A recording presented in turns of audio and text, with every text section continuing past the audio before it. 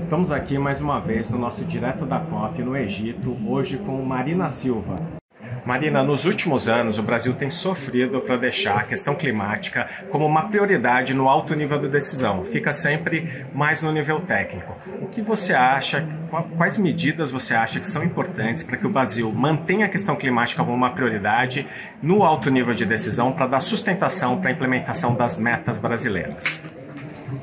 O Brasil, historicamente, vem dando uma contribuição aos compromissos que assumiu, honrando esses compromissos, sobretudo quando fizemos o plano de prevenção e controle do desmatamento.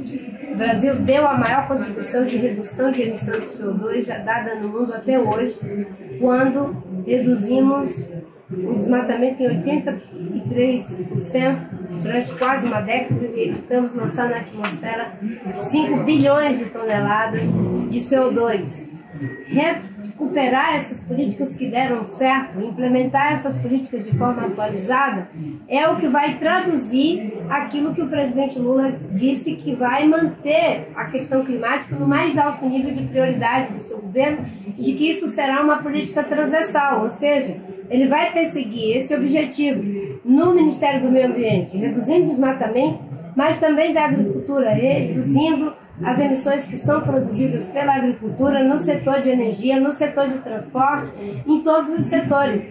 É dessa forma que aquilo que está sendo anunciado será efetivado. Óbvio que não é mágico, não é da noite para o dia. Nós vamos fazer uma reconstrução pós-guerra. Bolsonaro fez uma guerra contra a política ambiental brasileira. E isso vai ser retomado, vai ser atualizado, mas o bom é que nós já tivemos uma experiência exitosa, essa experiência será levada em conta e outras ferramentas serão tomadas. É combater desmatamento e, ao mesmo tempo, criar um novo modelo de desenvolvimento para a Amazônia, para as áreas com florestas, para que a gente chegue ao desmatamento zero.